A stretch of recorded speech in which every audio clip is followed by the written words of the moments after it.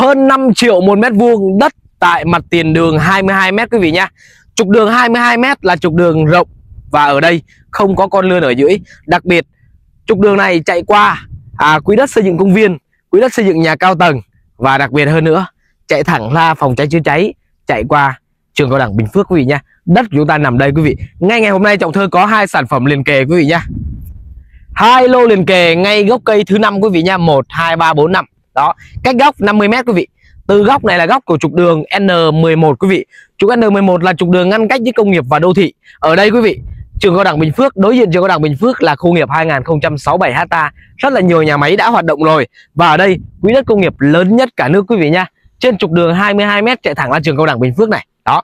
Gốc cây thứ năm quý vị, nhắc lại là gốc cây thứ năm à. Hai lô liền kề, mỗi lô ngang 5, sâu 30. Đất ở đô thị phun thổ cư, giá của những lô này chỉ hơn 800 triệu quý vị, chỉ hơn 800 triệu hơn 5 triệu một mét vuông thôi nha chưa đến 6 chưa đến 6 triệu quý vị ạ. Và ở đây quý vị ơi đường này chạy thẳng la ba trung tâm thương mại tại vòng xoay đường Hồ Chí Minh.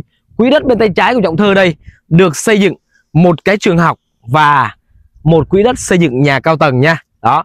Và chạy qua quỹ đất xây dựng nhà cao tầng này là quỹ đất xây dựng công viên quý vị xây dựng công viên. Ở đây chúng ta di chuyển ra nhà trọ sát bên ạ những dãy nhà trọ đã mọc lên san sát tại khu vực này và công nhân đã ở đây. Chạy thẳng ra công nghiệp đó chỉ có 300 mét. Chạy sang trường cao đẳng Bình Phước cũng chỉ 200 mét quý vị ơi. Tất cả tiện ích đều đầy đủ tại khu vực này rồi. Và giá của lô đất này chưa đến 6 triệu một mét vuông. Qua ngày 1 tháng 8 năm 2024 này luật đất đai sửa đổi à, sẽ có rất là nhiều thay đổi về à, bất động sản và đặc biệt hơn nữa là cấm phân lô tách thửa ở 105 thành phố và thị xã. Đây là cái cơ hội chúng ta còn nắm bắt được cơ hội tại thời điểm này mà chúng ta đầu tư bất động sản là chúng ta là những người đi trước ạ. Và sau này về phân lô tách thửa sẽ càng ngày càng khó khăn và những cái bất động sản càng ngày càng hiếm đi ạ. Nguồn cung càng ngày càng ít và nhu cầu càng ngày càng nhiều cho nên bất động sản chúng ta sẽ tăng trưởng tốt trong tương lai 2025 đến 2030 quan tâm tới những bất động sản nằm sát tiện ích như thế này, liên hệ trọng thơ, số điện thoại trọng thơ để trên trang cá nhân nha.